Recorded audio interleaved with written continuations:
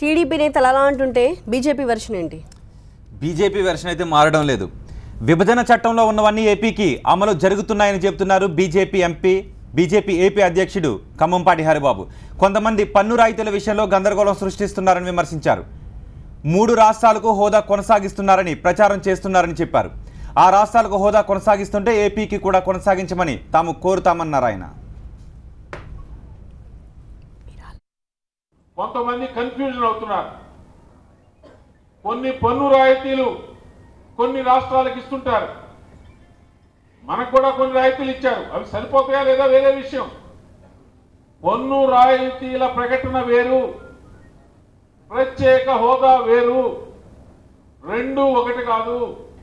ప్రత్యేక హోదా ప్రకటిస్తే ఆటోమేటిక్గా పన్ను రాయితీలు వస్తాయనుకోవడం పొరపాటు. కొంతమంది కొన్ని మాటలు మాట్లాడుతున్నారు. మూడు రాష్ట్రాలకు ప్రత్యేక హోదా పొడిగించింది మాకెందుకు ఎవరు నేను ఇప్పుడే చెప్తున్నాను.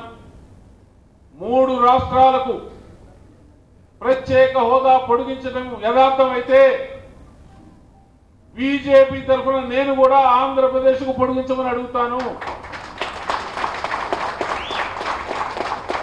అది ఎక్కడుందో చూపించండి. మూడు రాష్ట్రాలకు పొడిగించినట్లు ఎక్కడుందో చూపించండి.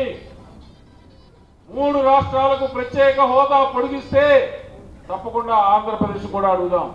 ఆంధ్రప్రదేశ్ ప్రజలకు ఇచ్చిన హామీని నిలబెట్టుకోవడం కోసం కొత్త రైల్వే జోన్ ఏ విధంగా ఏర్పాటు చేయాలో ఆలోచన జరుగుతుంది.